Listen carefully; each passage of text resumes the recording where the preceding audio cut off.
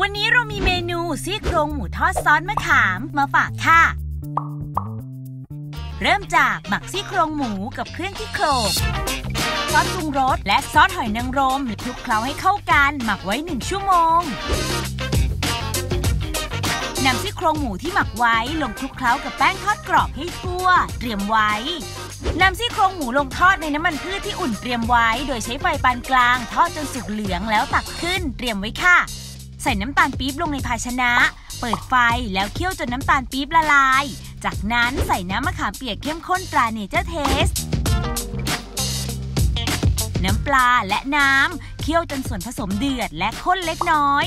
นำซี่โครงที่ทอดเตรียมไว้ลงคลุกเคล้ากับซอสมะขามให้ทั่ว แล้วปิดไฟ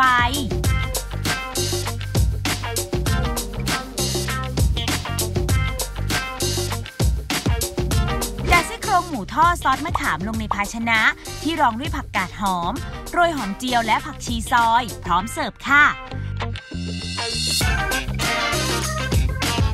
ครั้งหน้าน้ำมะขามเปียกเข้มข้นตราเนเจอร์เทส จะมีเมนูใดมาฝากคุณผู้ชมก็ต้องรอติดตามกันนะคะ